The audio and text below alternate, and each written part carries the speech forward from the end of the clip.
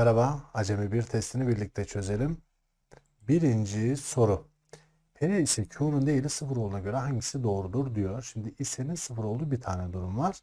P ise Q'nun değeri sıfır ya. İse'nin sıfır olduğu bir durum buranın bir, buranın sıfır olması gerekir. Dolayısıyla P1, şimdi Q'nun değili sıfırsa Q'nun olmalı? 1 olmalı. Yani her ikisi de ne olacak? 1 olmuş olacak. Tamam. 2. Ee, bir doğruluk tablosu verilmemiş. Ha önermenin doğruluk tablosu verilmiş burada. Şimdi 3 tane önerme varsa 2 üzeri 3'ten 8 tane birbirine göre doğruluk durumu oluşur. Ee, bu x, y, z yerine hangisi gelir diyor. Şimdi hangisi eksik onu görmek lazım. Ee, şimdi hmm, şimdi sıfırdan kaç tane olmalı? 4 tane olmalı. 1, 2, 3. Aha burası 0 olmalı. Gördünüz mü? Sıfırdan çünkü e, 4 tane e, 1, 4 tane 0 olmalı. Bakayım 1, 2 bak Q için 1, 1, 1 var ama 1 eksik. Gördünüz mü? 4'er tane olmalı yani. Z'de kaç olmalı? 1, 2, 3. Evet Z'de ha, 1, 2, 3, 4 tane var. O zaman Z'nin 0 olması lazım. Yani 0, 1, 0 olacak sırasıyla. Şimdi x ne 0, y ne 1, z ne 0. O zaman cevap ne? 1. Gördünüz? Yani her birinde ne olması lazım? Dörder tane olması lazım. Tamam. Peki 3. Kaç tanesi doğru, kaç tanesi önermedir? Ee, iki farklı önermenin 8 farklı doğruluk değeri vardır. İki farklı önermenin 8 tane doğruluk değeri yok. Yok yanlış ama bir önermedir önermedir. Niye? Çünkü bana diyor ki bak doğru ya da yanlış değil mi? Kaç tanesi önermedir diyor. Önerme. Mantık zor bir konudur. Yok bana göre değil. Bu bir önerme değil. Bir önermenin doğruluk değeri 1 ise tersinin doğruluk değeri sıfırdır. Bu bir önermedir. Tüm durumlar için doğru olan birleşik önermelere açık önerme denir. Bu da bir önermedir. Önerme. Yani kaç tanesi önerme? 3 tanesi önerme. Bakın doğru ya da yanlışlığını söylemiyorum. Önerme diyorum. Tamam. Peki dördüncü soru. Hangisi doğrudur diyor. Birbirine denkmiş bunlar. Yani P'nin değili denktir Q, denktir R'nin değili. Şimdi mesela Adana'ya bakalım. P denktir R'nin değili diyor. Şimdi e, Adana için P denktir. Şimdi R'nin değilinin P'nin değili olduğunu biliyorsunuz. Yani şuradaki eşitlikten biri şu eşitlikten. E kanki bir şeyin kendisi değiline eşit olur mu ya? Böyle bir şey var mı? Yok gitti. Peki Bursa'ya bak. Q denktir R. Şimdi Q yerine R'nin değilini yazsam yani şunun yerine R'nin değilini yazsam e bu da yanlış değil mi? Bu da gitti. Peki Ceyhan'a bakalım. P denktir Q diyor. P denktir Q. Peki Q yerine bu tav yani şuradan Q yerine P'nin değili yazsam e yine olmadı. Bu da gitti. E, şey pardon Ceyhan'a baktık. Şimdi Denizli'ye bakalım. Dur hemen peşine silmiş olmayalım. Denizli'ye bakalım. Q'nun değili denktir diyor R'nin değili. Şimdi bak R'nin değili şurası zaten Q değil mi? E bu da gitti bak bu da olmadı. Edirne doğru seçenektir. Tamam. Beşinci soru. P 1 olduğuna göre yani doğru bir önerme olduğuna göre aşağıdaki önermelerin hangisi P önermesine denk değildir? Şimdi P önermesine denk olması için doğruluk değerinin 1 olması lazım. Doğru mu? Şimdi P önermesine denk değil diyorsa o zaman hangisinin cevabı sıfırdır diye bakmalıyım. Yani yanlış olması lazım. Tamam mı? Yani doğruluk değerini sıfır mı diye bakacağız. 6'nın karekökü tam sayı değildir. Evet doğru. 6'nın karekökü tam sayı değildir. Doğru. 6'nın karesi doğal sayıdır. Doğru.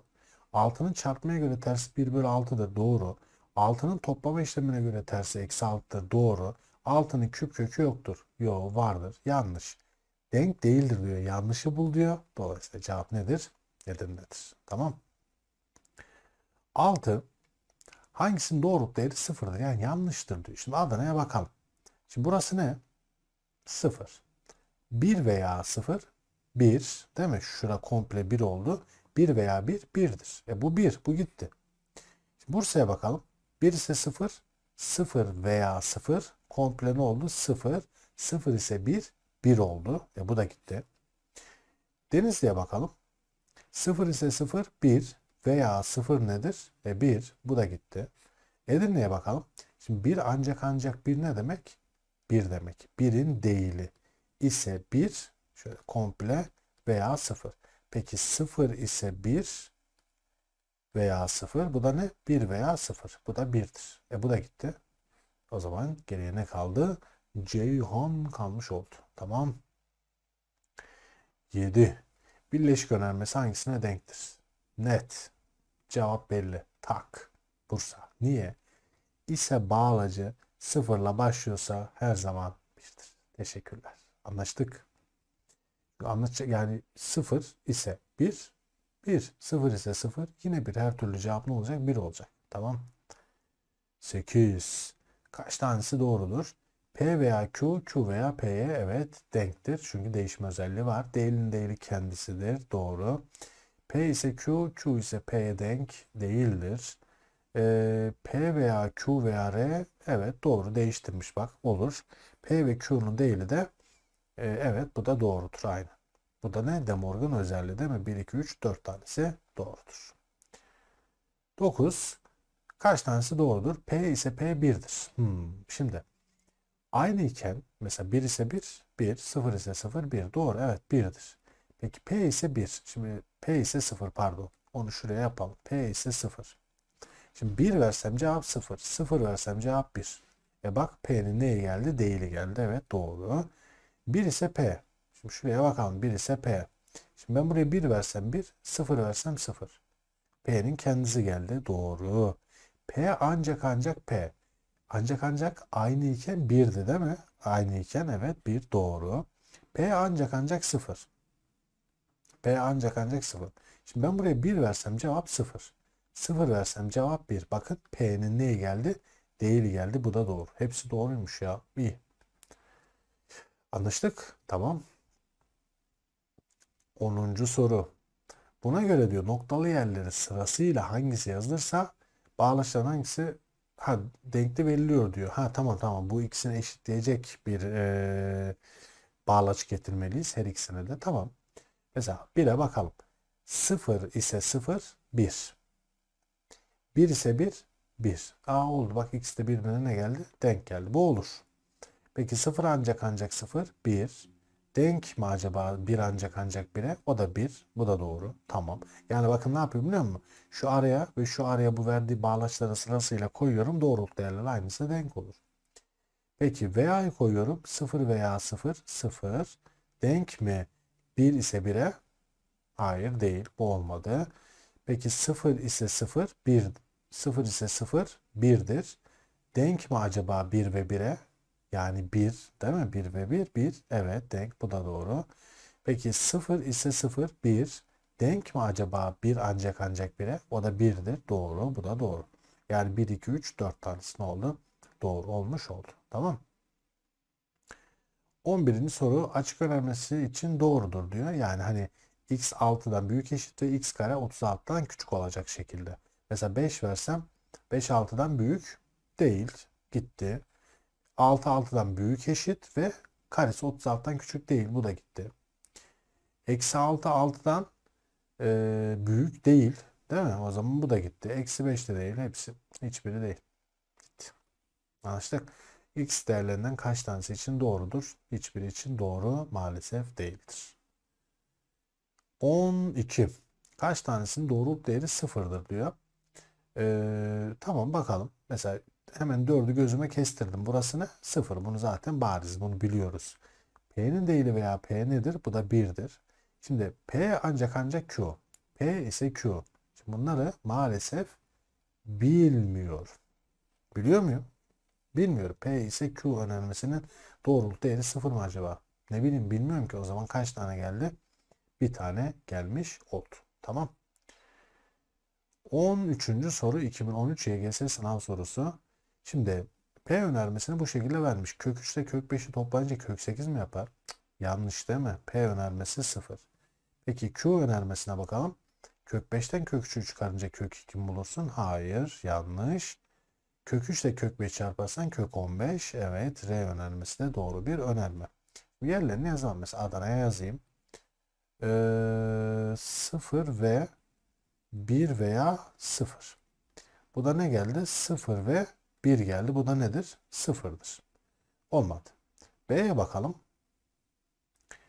0 veya 0 ve 1. 0 veya 0, 0 ve 1 ne? 0. Bu da olmadı. Ceyhan'a bakalım. 1 olacak orası. R 1'miş. Hmm, 1 ise P neydi? 0 ve 0. Peki 1 ise 0 ne? Bu da 0. Bu da olmadı. Ceyhan'da gitti. Denizli'ye bakalım. 0 veya R ne 1 mi? 1 ise 0. Tamam. 0 veya 1 ise 0 ne? 0. E, bu da olmadı. O zaman cevap ne? Edirne geldi. Tamam. 14. soru. Her insan yürür veya bazı kediler koşar önermesinin değil hangisidir? Şimdi bak. Şurası P önermesi. Burası da Q önermesi. Yani bana aslında P veya Q önermesinin neyini soruyor? Değilini soruyor. E bu da ne demek? P'nin değili ve Q'nun değili. O zaman olumsuzlarını alarak söyleyeceğiz. Tabi her diyor burada dikkat edin. Her insan yürürün olumsuzu. Bazı insanlar yürüyemez. V olacak arada. Bakın şu arada V olacak. Şu arada V olacak. Tamam mı? E şimdi bir kere Denizli o zaman gitti. Bursa da gitti. Ve e, her insan yürürün değilini aldık ya bazı olmalı. Adana da gitti. Ceyhan'da Edirne. Tamam. Bazı kediler koşar. Her kedi koşmaz. O zaman cevap Edirne. Anlaştık. Anladık da mı olay orada? Bazı insanlar yürüyemez ve her kedi koşmaz. Şimdi bizim cümle neydi? Her insan yürür veya bazı kediler koşar.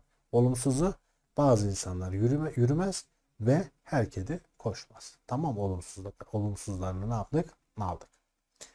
Ve son soru. Ee, ne diyor? A, B, X, Y tek sayılarmış. Tamam. Hepsi tekmiş bunlar. Peki tekle teki çarp tek. O zaman bu doğru bir önerme. Ee, tekle teki çarp çift değil. O zaman Q yanlış bir önerme. Tekle teki topla çifttir. R de doğru bir önerme. Şimdi hangisi doğrudur diyor. Yerlerine yazalım. Mesela 1'e bakalım. P ise Q. Yani 1 ise 0. 0'dır. Ee, yanlış. Yani doğruyu soruyor ya bana. 2. Ee, R şey Q'nun değeri. Q'nun değerine 1 ve P. Yani 1. 1 ve 1 1'dir. Doğru. Tamam. 3'e bakalım. R ise Q'nun değeri. Yani 1 ise 1. Bu da nedir? 1. Bu da doğru. P ya da R. P ne? 1 mi? 1 ya da 1. Aynı iken 0'dı. Bu ne? Yanlış. O zaman 2 ve 3 mü? Aynı. 2 ve 3 doğrudur diyeceğiz. Acemiler, acemiler, acemi testini çözdük.